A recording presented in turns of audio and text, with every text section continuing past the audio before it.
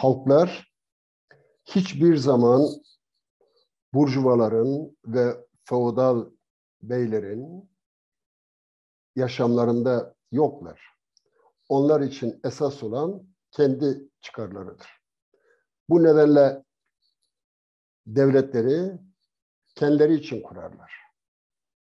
İran devletini alan dünyanın en cebberut devletlerinden biri.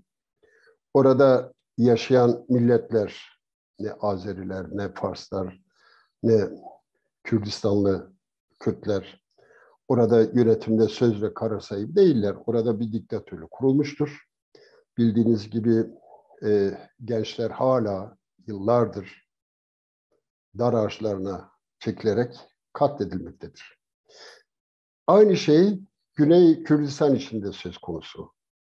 Bilindiği gibi Güney Kürdistan halkı, Kürtler yıllarca yıllarca mücadele ettiler. Kendi devletleri olsun diye. Saddam zulmünden kurtulsunlar diye yıllarca kan akıttılar. Can verdiler. Ve sonuçta uluslararası koşulların da bir araya gelmesiyle orada federe bir devlet kuruldu. Ama bu devlet Barzanilerin ve Talavarilerin devleti oldu. İki ailenin devleti oldu. Tamam orada bir eğitim, Kürtçe eğitim veriliyor. Kürtler daha rahat bir şekilde dillerini kullanabiliyorlar. Ama bunun dışında hiçbir hakları yok.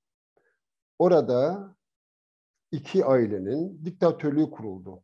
Bütün Kürtler tarih boyunca hep ezildikleri, horlandıkları ve devletsizliğin acısını çektikleri için doğal olarak bir devlet özlemi içindedirler. Böyle bir hasretleri var, bir devletleri olsun istiyorlar. Bu da son derece doğaldır ve insanidir. Ama kurulacak devlet kimin devleti olacak? Önemli olan bu. Halkın devleti mi olacak? Halk mı o devlette söz ve karar sahibi olacak?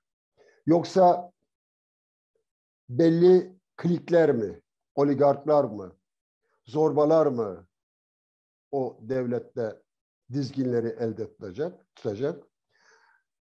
Önemli olan budur. Türkiye'de bile milyar dolarları aşan gayrimenkulleri var. Geçenlerde Neçirvan Barzani geldi Türkiye'ye. Yani öyle bir zavallı vardı ki Tayyip Erdoğan'ın yanında kendi ülkesinin bayrağını bile e, orada yok sayarak Tayyip Erdoğan'ın yanı başında ay yıldızlı Türk bayrağının altında poz verdi. Çünkü bunlarda ulusal onur yok. Bunlar için önemli olan kendi çıkarlarıdır. Güney Kürdistan eskiden bazı iktidarının denetimindeydi, kontrolündeydi ve Irak'ın bir sömürgesiydi.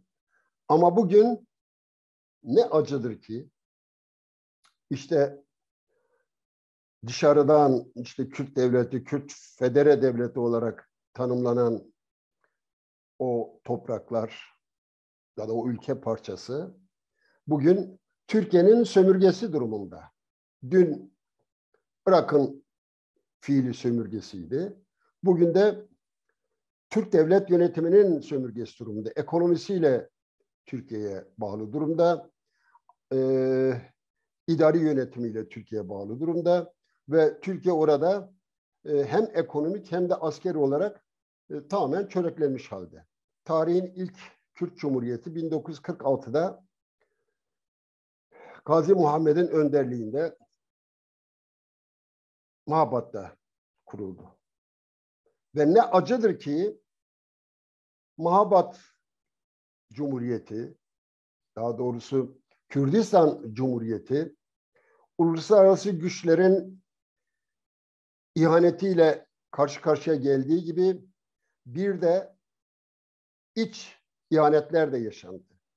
Hatta okuduğumuz eserlerden biliyoruz ki Gazi Muhammed ve dava arkadaşları idam edilsinler diye o Kürt işbirlikçiler, derebeyler, ağalar imza toplayıp Şah'ın kapısına dayanmışlar.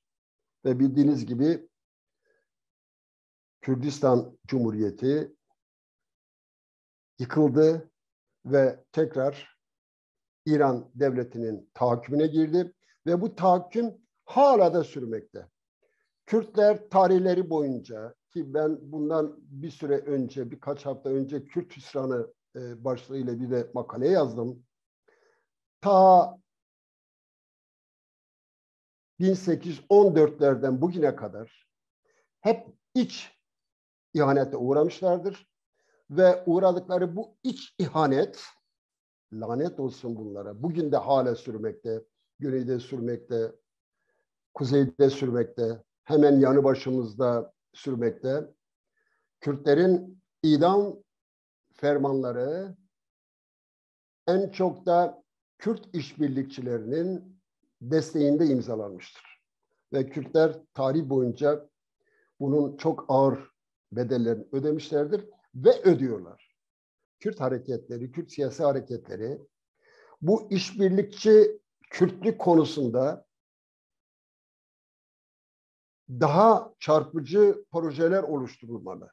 Silopi ve Cize'deki kamplarda olan Ezidileri ziyaret ettik. Sohbetimizde Ezidilerle yaptığımız sohbette duyduklarım karşısında dehşete kapıldım. Şaşırdık. Ezidiler saldırıya uğramadan önce, IŞİD'in saldırısına uğramadan bir hafta önce KDP'li komutanlar gelip silahlarını toplamışlar. Şengale, köylere dağılmış ve halkın silahlarını toplamışlar. Demişler ki bu silahlar eski, biz size modern silahlar getireceğiz.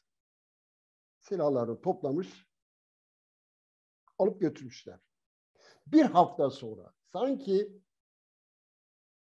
IŞİD çetelerinin saldıracağını haber almışlar gibi silahları getirmemişler ve bir hafta sonra saldırı olunca ki kamuoyuna da yansıdı, medyada epey yer aldı bu KDP'li komutanlar. Sözüm ona halkı korumakla görevli olan komutanlar tabana kuvvet diyerek bölgeden kaçıp gitmişler. Bunu biz korkuyla ifade etmiyoruz. Ben şahsen bunu korkuyla ifade etmiyorum çünkü korku insani bir şeydir. İnsan korkabilir, korkup kaçabilir. Ama silahların tümden alınması ve arkasından işitçi çeteler baskın yapınca katliamlara başlayınca alanı boşaltmak düpedüz katliam ortaklığıdır. Kürdistan'ın bu bölgesi, başında bulundukları bölge alabildiğine zengin bir bölge. Ve e, ülkenin bütün kaynakları bu yönetim tarafından, bu aileler tarafından yağmalanıyor. Kendini sıkıntıya sokmak istemiyor. Yani Türk devlet yönetiminin işbirliğiyle şemsiyesi altında saltanatlarını sürdürmeye çalışıyorlar. Sivil itaatsizliklerle devlete, Türk devletine geri adım attırmayı esas alan ve sonuç almakta da kararlı olan başka bir hareket de olsa eminim KDP aynı tavrı sergileyecekti. Çünkü devlet yönetimiyle, Türk devletiyle çıkar birliği içinde. Ona yön veren Kürt halkının çıkarları değil,